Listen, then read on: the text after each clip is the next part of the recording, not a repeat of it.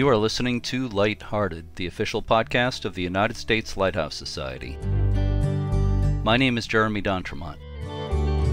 Welcome. This is a very special edition of Lighthearted. Today is February 27th, 2022, and I've just recorded an interview with a woman by the name of Tatiana, or Tanya as she goes by, Tanya Manziuk in Kiev, Ukraine. Obviously, a place that is in uh, the middle of uh, the news today and in all our hearts. And uh, I had a very interesting conversation with her. The conversation touches on a number of things, uh, including lighthouses. I made contact with Tanya through Facebook, through a mutual friend, and I saw that she had a picture of herself at a lighthouse as her profile picture. That was part of what led me to contact her and arrange this interview today. So let me go ahead and play the interview with Tanya Manziuk in Kiev, Ukraine.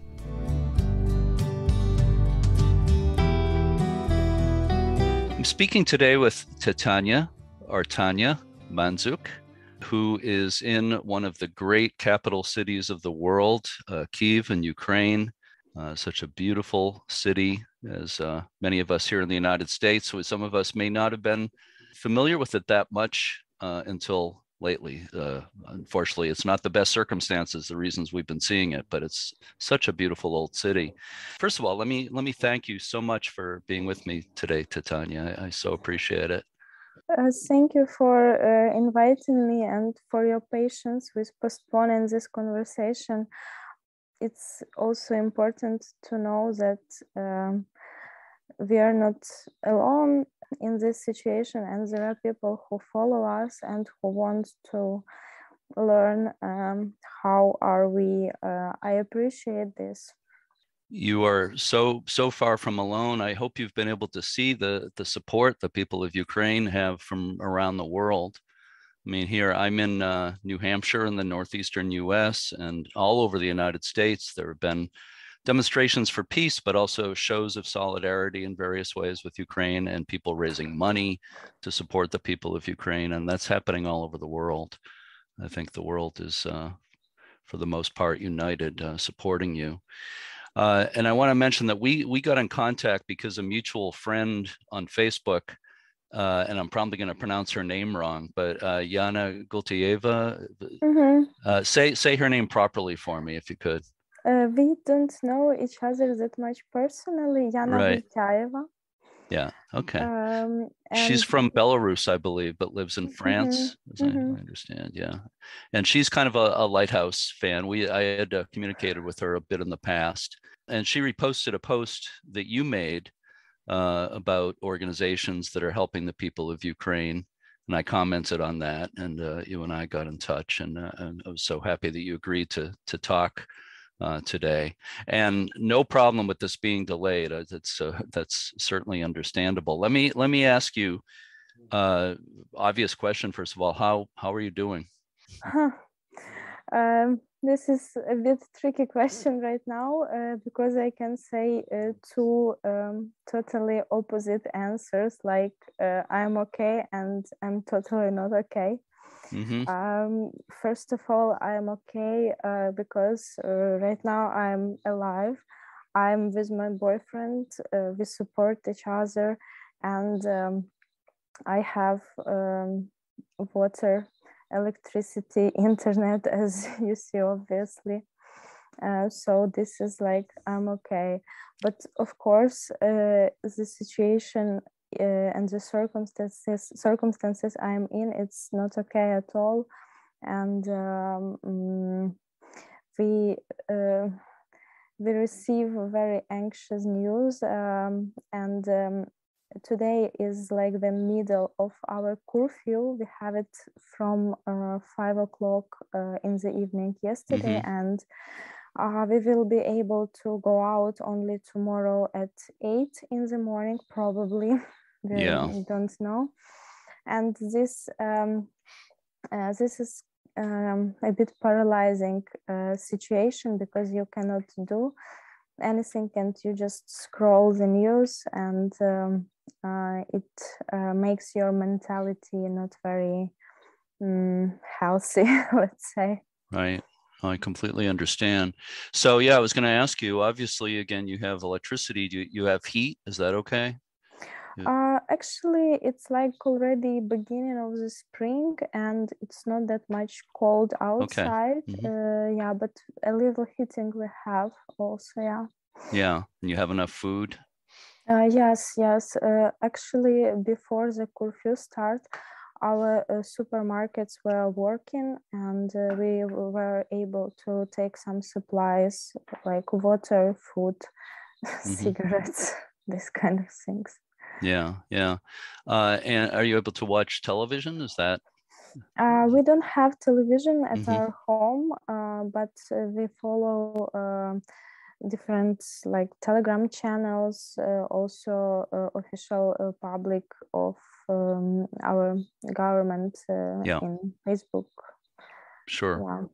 Sure uh, so where in kiev do you live are you near the center are you near the government buildings um not not directly there but yeah it's one of the central um, neighborhoods mm-hmm. You mentioned, I think, to me that you're on like a hill kind of overlooking the city. Is that correct? Uh, yeah, yeah. Um, probably um, some of the listeners know that Kiev landscape is uh, is based on hills actually. So it's one of Kiev hills, um, and uh, yeah, we're on this hill. Uh, it makes me think of like maybe San Francisco, a very hilly American city. Actually, like I that. know that uh, that cities like to say this kind of uh, romantic uh, images, romantic metaphors about themselves, like city of seven hills, city of that amount of hills. My mm-hmm. boyfriend is from Istanbul, and uh, and uh, also they like to call Istanbul city of several hills. so, Istanbul, uh-huh. Yeah. yeah. That's another beautiful old city, of course.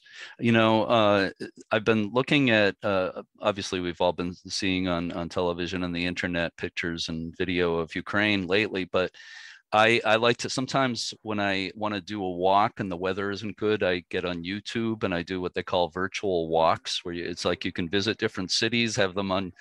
I stand close to the television and like I'm walking in the city. And I was doing Odessa uh, a few days ago, and oh. so so beautiful.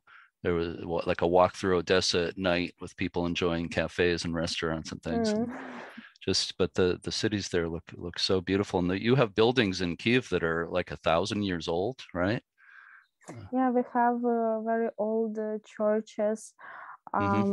which were built um, after Kiev Rus, our pre state, after it became Christian, they started to build these churches, and some of them still uh, still we have. They are saved, even though uh, Second World War and this kind of things. So yeah.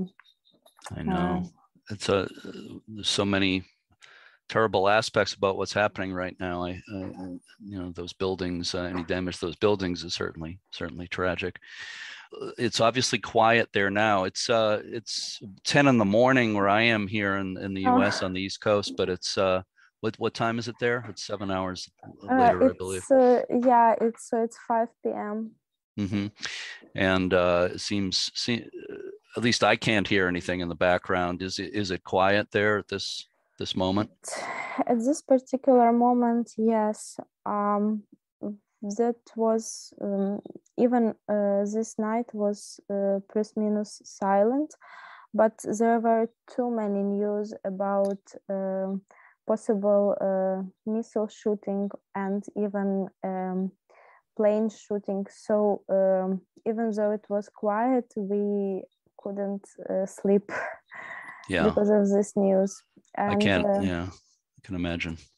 In the morning, there were uh, gunshot sounds um, a bit, and uh, also. Um, I'm not sure uh, because uh, I don't have this experience that much, but right now I think that these sounds also which I hear is uh, air defense sound. I mean, our air defense. Um, so also we heard today. Mm-hmm. Uh, you uh, have uh, shelters around around the city, I think, in various um, buildings, right? Basements of the buildings, underground parkings.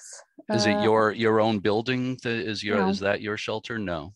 No, we don't have shelter, and we don't have uh, shelter around us. So we hide in bathroom and in the corridor.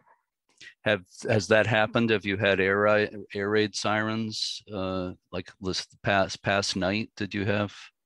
Yeah, yeah. yeah. Uh, mm-hmm. At night, uh, several times, and one time in the morning today. Mm-hmm. But it passed fairly quickly. Usually, it's unclear. It's like siren it sounds one minute probably we hear the sound one two minutes mm-hmm. and then uh, sometimes uh, luckily it's silent all the time or sometimes like uh, or sometimes we start to hear some explosion sounds it's every time different i trust uh, our municipality and our army so i believe that this is their kind warning and uh, after um, they do everything uh, possible to not to um, allow uh, any threat to to attack us. Right. Um, let me ask you. You you work for an organization called House of Europe.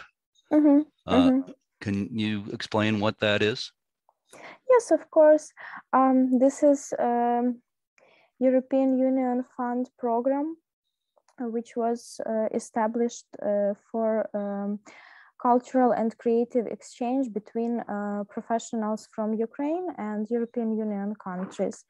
And the main uh, focus is culture and creative industries, uh, but also it's um, education, social entrepreneurship, um, work with youth, um, healthcare, um, and media. It's like in those fields, uh, we believe that democratic reforms in Ukraine are the most needed, and, th- and that's why this program was founded.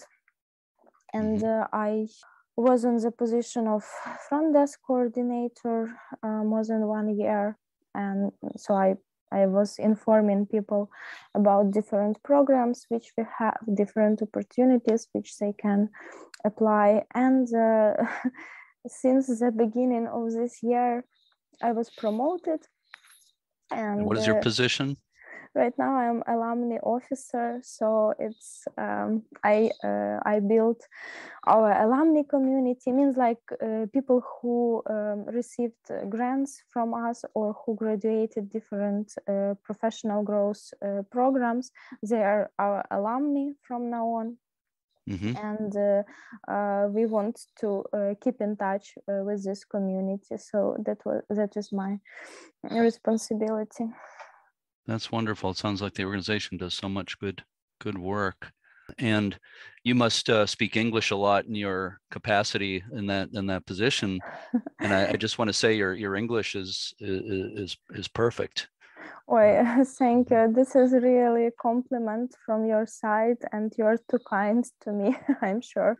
I uh, yeah I use uh, English at work all the time, and also since my school time I was uh, studying um, in different courses. Then I was volunteer of another cultural organization, and I uh, used to communicate with uh, people from different countries. So I learned uh, in practice. But before today's meeting, I was also searching this. Um, uh, military language because, for example, I didn't know um, some names like missile and this. Well, that's kind of sad that you have to research those those terms, uh, you know, uh, and it says something about the life you were living before this that you didn't have exposure to those those terms. And I'm sorry, sorry you do now this is, uh, in theory, a podcast about lighthouses. so, uh, you know, again, the title of the podcast is Lighthearted, and that refers to people who have lighthouses in their hearts. Uh, sometimes I do segments. Uh, mostly, we actually talk about actual lighthouses, uh, about their history, about their preservation, things that people are doing, uh, activities at lighthouses, things like that but uh, sometimes I do a segment called Be a Lighthouse that's about people who are doing good in the communities in various ways and organizations. Certainly, you and your organization, House of Europe, would uh, fall into that category, I would say, of being a, a, lighthouse for people in the community. But let's just talk a little bit about lighthouses themselves. I, I know it seems almost uh, frivolous to talk about lighthouses at this point uh, in these circumstances, but I'm just wondering, you know, if you have any thoughts about them. I um, I noticed on your Facebook page that you have a picture of a lighthouse. Uh, mm-hmm. In the picture, you're looking at a, a lighthouse on your uh, profile picture. Do you know? Uh, do you remember what lighthouse that is in that picture? Yeah, yeah, of course I remember. Um, probably you know, uh, city of Berdyansk in Ukraine. Um, mm-hmm. there is mm, this city is not very big. Uh, it's on uh, Azov Sea. Okay. Uh, and um, uh, this photo was made in summer uh, 2016 by my friend Alina. Uh, together with her, we had a um, small cultural project uh, about the city of Berdyansk. Mm, we um, were searching together with local um, university uh, professors. We were searching history of this city because it's very interesting uh, it's uh, multicultural. It was founded uh, obviously as a port, city port. Mm-hmm. Um, there was uh, a lot of trading. Um, there were uh, Bulgarians, Greeks, uh, Germans, Polish people living, coming to there and starting to live there. And still some um, some buildings left since that time. It's like um, uh, it's like let's say 150 no even 200 years ago. Uh, for example there is a polish church kostol and also um, karaim kenesa very old and beautiful buildings. Um, and also uh, uh, it accepts a lot of um, internally displaced people from uh, occupied uh, Donetsk and Luhansk regions in 2014 these edges of uh, reality and, and and past it was very very sharp and very interesting to research. So we went there we stayed there and we did our research. And mm-hmm. this uh, lighthouse um, there are two lighthouses in this uh, city. There is um okay i will find this word i forget. Uh, sea spit uh, spit like this long line of um, of the ground which goes uh, far to the sea. Spit, yeah, uh, yeah. We, in, S P I T in English, yeah. Yes, um, yes, we could, yes. right, uh, a long uh, piece of land, mm-hmm. small that extends into the the water, yeah. Yeah, mm-hmm. and uh, there is um, 18 kilometers spit uh, in Berdyansk, and this lighthouse, which I have photo with, uh, it's just on the edge of this spit, and um, mm, it was built also. I guess uh, in 1838. So it's like one mm-hmm. of the oldest Ukrainian mm. lighthouses for ships who get enter Berdyansk port. Mm, and uh, Azov Sea, I don't know if you know this fact, but it's the shallowest, the less deep sea in the world. So uh, it's quite challenging to um, to to go by ship there, and mm-hmm. lighthouses were crucially needed and um, I will, uh, after our conversation, I will send you one article. We have a project, um, Ukrainer. It's um, a project about different cities and uh, places and people in Ukraine. Mm-hmm. And they did very nice um, article with video about the keeper of this lighthouse, who is working there more than 50 years. Uh, mm-hmm. he, oh. Uh, yeah, yeah he's still working there. Uh, he started yeah. to work when he was a young boy uh, with his father, and then he uh, continued to to work there. Mm-hmm. Uh, it's very interesting story.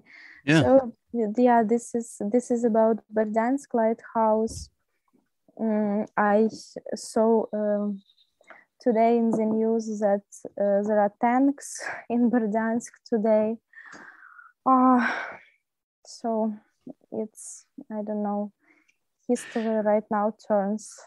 I know. Well, we all hope that that is over very soon. Um, I just saw the news uh, this morning that there are uh, negotiations supposedly about to happen, possibly, possibly at least, hopefully, on the border with Belarus. And uh, I don't know if you have any thoughts uh, hearing that news.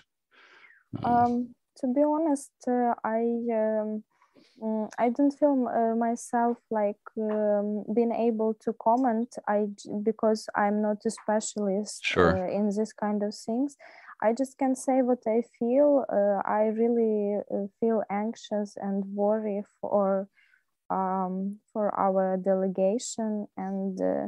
Uh, Belarusian border doesn't seem like the safest place uh, right. for this kind of things. I want to believe everything will go well. Me too, all of us. We're all uh, holding our breaths and uh, hoping and, and praying for the best. Back to, to lighthouses, I'm wondering if you have any thoughts. Uh, obviously, uh, you mentioned how important they are for navigation in such a, a shallow sea and, and the, on the Black Sea and, and uh, various places around there. But aside from navigational importance, do you have any feelings about uh, kind of the relevance of lighthouses in our world? It's a very beautiful metaphor, of course. It's uh, probably one of the most beautiful, like, uh, sign, light in the darkness, which uh, help you to follow the correct way and to avoid danger. Uh, so mm, it's a very, very transparent but very beautiful metaphor.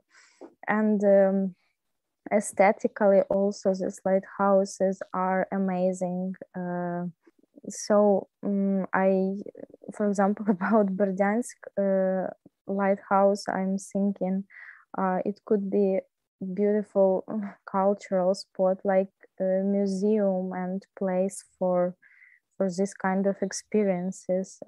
Yeah beautifully said you know uh, i'm thinking that I'd like to discuss the possibility of maybe you can help host a, a, Zoom event for the U.S. Lighthouse Society about the lighthouses of Ukraine at some point. Let's uh, let's yeah.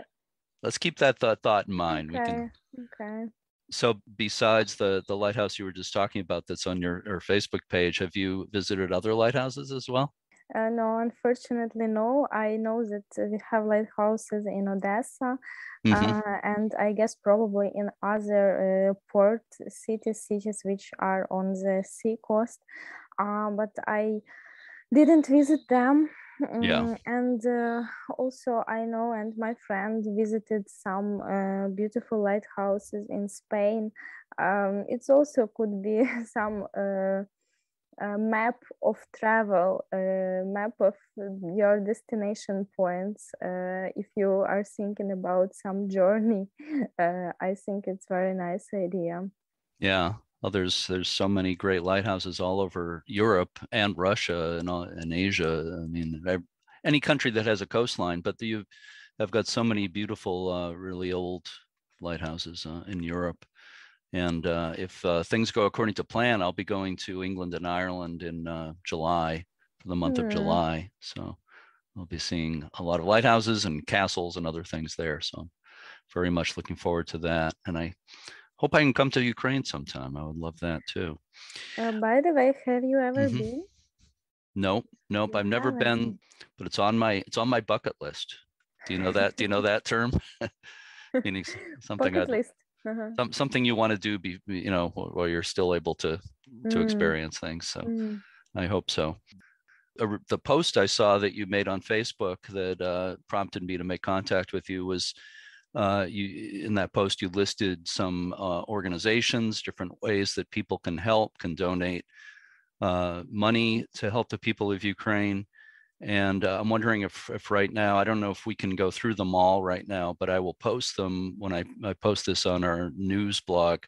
I'll post the list, but uh, there are there uh, maybe a, one or two uh, especially that you'd like to mention that you think are really really good. Uh, first of all, uh, this is um, our charity fund, Come Back Alive. Uh, they help uh, to uh, military forces and to veterans. Um, and this is really um, year proven, well trusted foundation.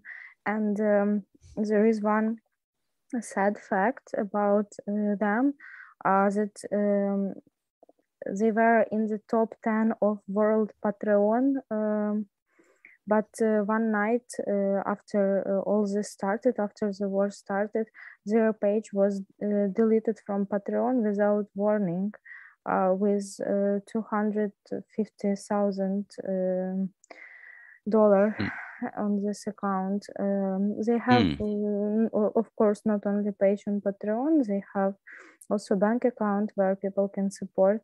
Um, but this is also about this um, rules uh, which exist in the world and different powers with which fight on different uh, front lines. I would say. Um, come, so, come back alive. You said is the name of the organization. Uh, yes, Come Back Alive in Ukrainian Повернись живим. Um, and the other, uh, which I can mention, is an official uh, account from our national bank uh, for uh, arm, armed forces needs. Uh, this one is also totally official and mm, like official source. Mm-hmm. There are also many volunteer groups but it's like more local uh, because sometimes they don't have opportunity to accept money from abroad or it's for local coordination so uh, probably what i mentioned is uh, mm, the most real opportunities to to support uh, I've seen uh, on the internet about people raising money in all kinds of ways for Ukraine. Uh, there was something about a, a, young person in America. I, I, don't remember all the details, but they, I think they created some sort of stickers or something to, to support Ukraine. I don't know if you've heard about this, but they, he's, this person said, uh, that they uh, they thought they would maybe make five hundred dollars and send a check, and then but they're so swamped with orders. The last I, I looked, it said that it had raised one hundred seventy five thousand dollars. So that's, that's amazing. It's very yeah. very great to hear this. Um, I want to share also my concerns, uh, what I see. It's also uh, sometimes hard uh, here on the spot to make delivery of particular things because uh, because um, war actions are um, in different regions and uh, sometimes roads are closed and uh, it's impossible also to move. Right. Logistic is complicated. Yeah. Oh, I'm, but it's I'm sure. it's it's really great that people try to do something and uh, to support well, I know. Uh, I think I can speak for for people everywhere. Um, you know that we we want to help. We we um, you know it's almost a feeling of helplessness when you see what's going on, and we we wish we could do more. But we we we have so much admiration and respect for the people of Ukraine, and you know I always I've, for a long time I thought it looked like a, a beautiful country with beautiful people, and uh, you know that's certainly been confirmed by everything we're seeing. Before we we sign off today, before we end this conversation, and I hope we'll talk again, by the way, and you can up, update us on what's happening. But um, do you have any other message uh, at this point that you just uh, like to like to add to anybody listening? Um, yes, thank you. Uh, I want to say thanks to you and to your listeners who worry about us. Um, you said just beautiful words that you admire our people.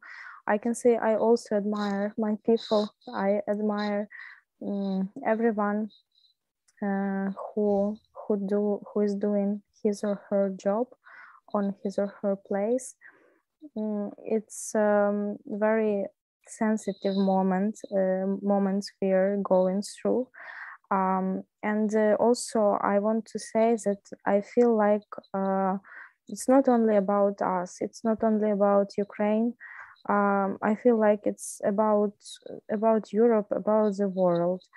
Um, because uh, right now we feel ourselves like a frontier uh, like a fr- frontier of of the world and um, that's uh, that's great that we have support and uh, that's amazing to see these demonstrations, these uh, posts, and I just want to ask people to continue and to consider it in global context and to consider that um, our planet is really small and vulnerable.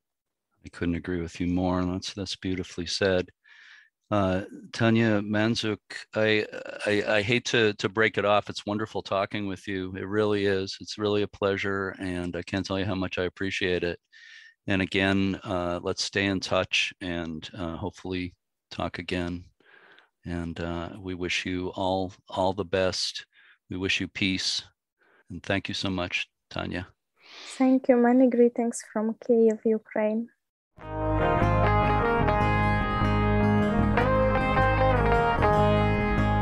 Again, thank you so much to Tanya Manziuk for today's interview. I invite our listeners to visit our news blog at news.uslhs.org. The post for this podcast episode uh, contains a list of organizations that you can donate to, and I urge everybody to do uh, whatever you can to to uh, help to reach out and help the people of Ukraine, whether it's a monetary donation, whether it's taking part in a peace demonstration whatever it may be.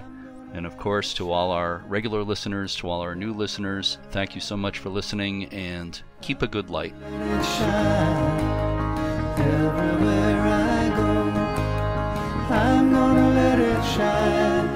let it shine, let it shine.